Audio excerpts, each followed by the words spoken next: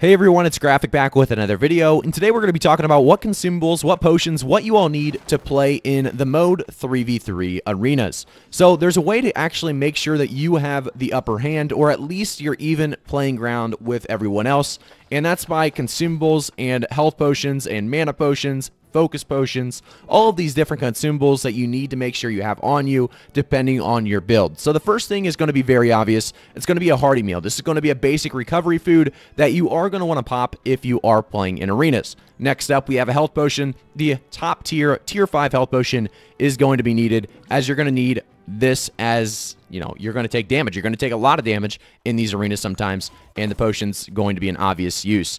We have next regeneration potions. Very very good. And of course if you have the earring as well that does the purifying toast. So basically when you drink a regeneration potion you lose one debuff. Another very very important reason we take the regeneration potion so next up, you can actually slot anything in your six slot when it comes to oak flesh bombs or star or sorry gemstone dust. I was going to say starstone dust but uh, it's actually called gemstone dust or oak flesh balm you're going to want either one slotted in your six slot. I typically take oak flesh just because i am dying to physical damage much more than i am dying to elemental. So I do have both though, just in case I run up into a three stack of elemental users. I want to make sure I have that in case. But Oak Flesh is going to make sure we take 35% less damage from physical for 20 seconds or until receiving damage 15 times. And then we have the Gemstone Dust doing basically the same thing, but for elemental. So that's going to be nice, like I said, to switch these in and out depending on who we're playing against. Now we go over to the Honing Stone. Honing Stone's an obvious, a lot of people already know this, but Tier 5 Honing Stone is going to give you 7% more damage for 40 minutes. It's going to be nice to have in these arenas. Do you remember, guys? You may be thinking, wow, this is going to cost a lot of money to use all these different buffs, potions, every single arena. That's what's nice about arenas over OPR, in my opinion, is that none of this stuff is actually used. You can actually just pop these on, and you have unlimited amounts or limited uses in the 3v3 arena. It looks like we're going to get a chance to show you here in just a second. Before we accept this, though, I do want to jump over to the Focus Potion, which we pop every single round if you're a mana user, because it's going to give you insane amounts of mana regeneration rate by an exceptional amount for 60 seconds. So we'll never run out of mana that round if we pop this right before. Next up, we have the Powerful Incense, which I have really no reason as to why we pop this. I don't know what afflictions really are, to be honest. Haven't looked into it. I just know that people other, or, or, you know, other people pop it, so I pop it as well. Kind of a follower on this one. But uh, the other ones that you definitely want is Mana Pots. If you really, really need them, shouldn't need them in arenas, though, if you have Focus Potions going, and of course, energizing hearty meals as well, which is going to increase your mana regeneration rate. Looks like we actually took too long in that arena, so we'll queue up another one. That was my bad for anyone that I just kind of queue abandoned. But uh, next up, we have attribute food. This is going to be a very, very important part. I have constitution food, um, but you can have any other kind of foods you really need. So I have dexterity strength in here as well. But you are going to want a food that bumps you up a specific amount. So we'll talk about that here in just a minute. Uh, we have Desert Sunrise. So I have that 40 con food, but now we have Desert Sunrise, which is actually a very interesting food that you can now buy on the market. It's going to be, or you can make it, of course, but it's going to reduce the duration of dots, so damage over time, by 10% for 25 minutes. It's going to be a very, very small amount, but it is something you want to take because there is a lot of dots in the arena, and it's something a lot of you guys probably have not been using. So, one thing I wanted to mention is with the attribute feud, obviously you're going to want certain attributes up higher. So here you can see I'm running a 300 intelligence, 200 constitution build, and I really, really want to get to 200 con, so I have the extra 10% increase to physical and elemental armor. So that is why I popped the 40 additional constitution food.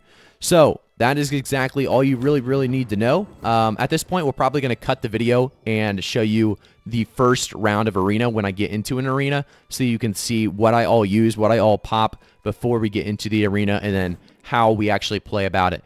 Also, if you didn't know, if you have tab open or if you hit tab on your screen when you're on New World, obviously, uh, you'll be able to click any of these buffs and just left click use. You don't have to keep doing this. I used to do this all the time. You put these in so that you feel like you can use them on your bar and then you tab in and tab out. No, no, no, no, no. That would take forever. You just left click use. It's going to be the fastest way, the best way. So make sure to take advantage of all these buffs, consumables, potions, and jump in the arena. And let's uh, take a look at what we have.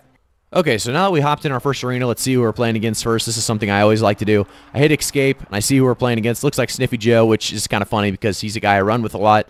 Uh, Black Fury uh, and Loki. I don't know how to say Black Furacy, Black Furacy. And then let's see our side. Alezade and Word. I don't know really many of these players. I think Word does have a pretty good build. Has Spear, Sword, and Shield, which is really annoying to play against. But let's pop those buffs. Let's show you how these work. So the first ones you're always going to want to do. Honing Stone, of course. You're going to get that powerful incense popped. You're going to pop your uh, focus potion last because you're going to want to make sure that lasts through the entire round. This is only 60 seconds.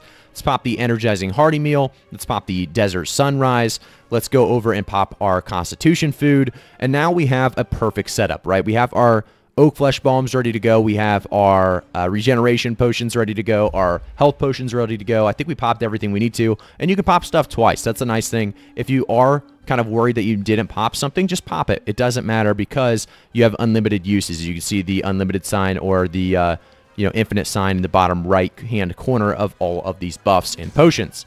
So we should be good to go now. I think I already popped the focus potion, but again, I'm going to repop it so that we have it for a majority of this round. So I'll have about 50 seconds of use during the round and we should be good to go. So let's take a look at the first round and we'll end the video there. But by the way, if you haven't already, make sure to like the video, subscribe to the channel, and turn notifications on, and follow me on Twitch. We stream every Monday, Thursday, and Saturday at 6 p.m. Eastern. So I'd love to see you guys there for some mage gameplay and some PvP as well as PvE. So thanks again for tuning in, and uh, let's play it out. So there's a good spike. We actually hit two of them, I think, with that. We're going to entomb the crosscut because if you don't entomb the crosscut, you're going to take a lot of damage, if you didn't know. Um, we're going to actually just burn out through him. We'll be behind him. We can auto-attack him for the kill. We're going to use some regens, uh, some potions, I mean. I think I used a health and a regen there, which is fine. We actually never used our Oak Flesh. I would assume he's coming for me, so I'm going to use the Oak Flesh here. Okay, so there's our first round, and uh, I guess maybe we'll just play out this whole arena in case you want to hear the comms of the entire arena. Uh, but we are in round two, and I think Sniffy was AFK for the first start of that, so it should be much closer these last couple of rounds. And there's no guarantee that we're going to win because they do have a pretty decent comp. Uh, but let's take a look at what we're running against. So Loki was actually running Blunderbuss, it looks like. Black Forus is running Sword and Shield and maybe Spear. But Loki's taking a lot of damage. If I'm able to hit the spike, I miss the spike. We were able to dodge his burst with the blunderbuss, though, and at this point, we can just flamethrow him until he's dead. Um, oh, wow. So they actually took somebody out pretty quick there in the middle. He's going to be coming for me. We're going to use our Oak Flesh here, and we're also going to pop the Entomb. So when we come out of this Oak Flesh, we're going to have a health potion up, which should keep us alive.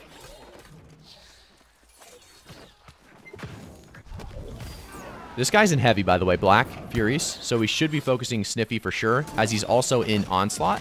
And if he's in Onslaught, he's taking 15% more damage. So that's a big part of Arena as well, to know your opponents. Uh, and you can actually learn by playing, you know, Arena a lot. You'll play some of the same people on and off again.